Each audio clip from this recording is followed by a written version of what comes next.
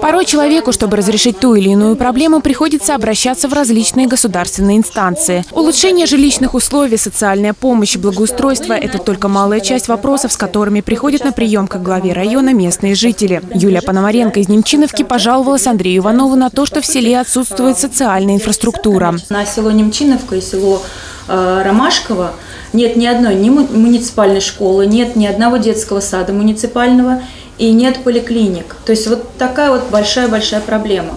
Но вот на данный момент мы больше хотели бы коснуться именно отсутствия школы и детского сада. Глава Одинцовского района взял проблему на контроль и пообещал в ближайшее время помочь найти территорию под строительство необходимых социальных объектов. Еще одно обращение, с которым пришла на прием жительница Одинцова – предоставление места ребенку в детском саду. До этого предлагали два садика – в Голицыно и в Кубинке.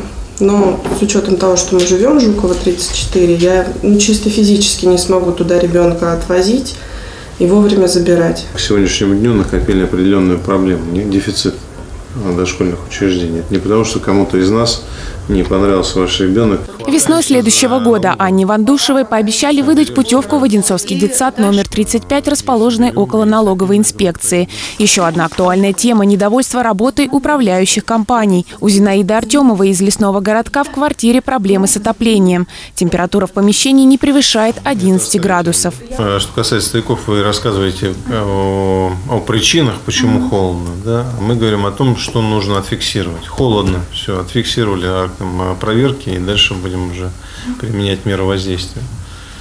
А, тогда заодно посмотрите, что в подвале. Записаться на личный прием к Андрею Иванову можно по телефону 8 495 599 15 18 или непосредственно в здании администрации Одинцовского района. Анна Пряхина, Станислав Трифонов, телекомпания «Одинцова».